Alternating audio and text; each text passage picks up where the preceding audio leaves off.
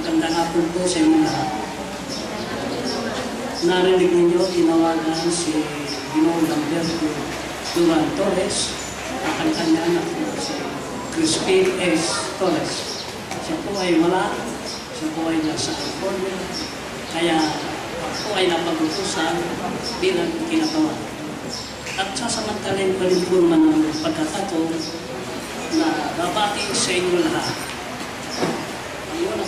Ang una kong binabati ay ang mga magsisitagkamit ng mga karangalang banggit. Gayon din po ang kanilang mga magulang at ang kanilang mga guro. Sana ang inyong pag-aaral na yan ay pagpatuloy ninyo upang kayo maging gabay ng ating bayan at maging dakila kayo na bilang isang Pilipino. Alam ninyo ang ating, ang ating daigdig ngayon ay magulo. May mga gera sa ibang bansa. Bakit? Kasi kulang na pag-ibig sa kapwa. Mapalag tayo Pilipino na tiga Pilipinas na ang bansang nalan natin ang hindi pa nagkakaroon ng batas na divorsyo. Ang salita ng divorsyo ay nabag sa kalooban ng Diyos.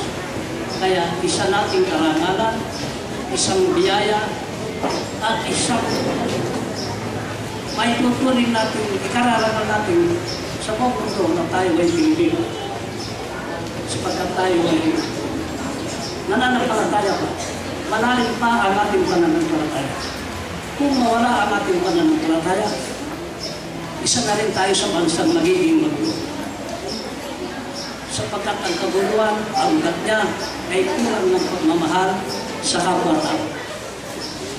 Kaya ako ay bumabati sa inyo. Sana ang inyong pag-aaral ay ipagpatuloy ninyo.